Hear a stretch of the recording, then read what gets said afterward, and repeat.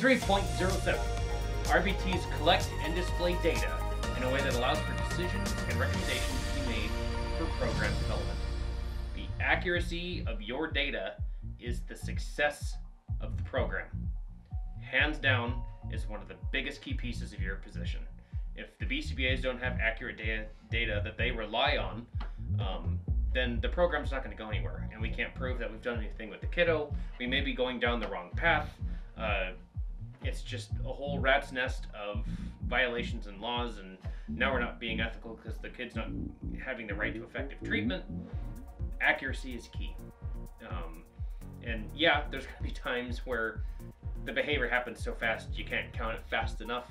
You're going to do your dangest to uh, make sure the accuracy is there so that we can uh, design programs uh, to be exactly what they need to be.